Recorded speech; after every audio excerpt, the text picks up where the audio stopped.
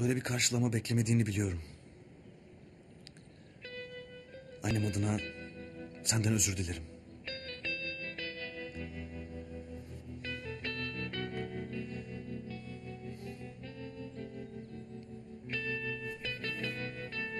Aslında böyle bir insan değildir.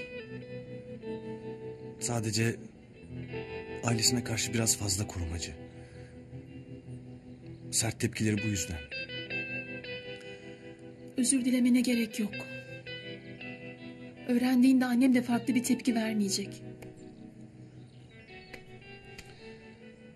Sana söz veriyorum. Her şey düzelecek. Ejder. Biz hata mı ettik sence? Sakın. Sakın öyle düşünme.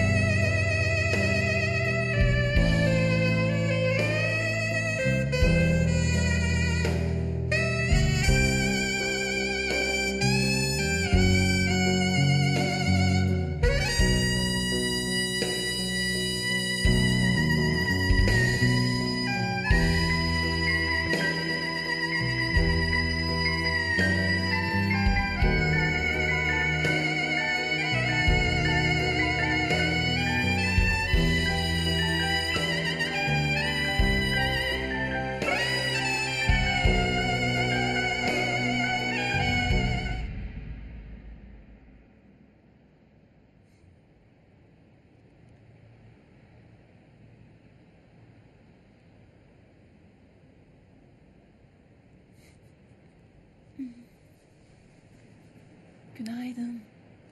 Günaydın. Niye uyandırmadın beni? O kadar güzel uyuyordun ki. Kıyamadım. Giyinmişsin. Nereye? Mis kokulu sevgilime mis kokulu çiçekler. Ejder.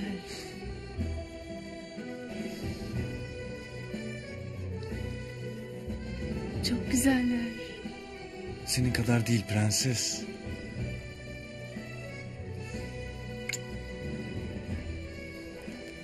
Ben bugün öğleye kadar boşum. Ne yapıyoruz?